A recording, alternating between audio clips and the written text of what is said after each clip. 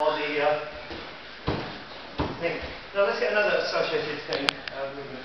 Let's quad roll. Up. Round. So switches round.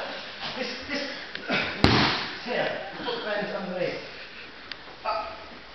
Back.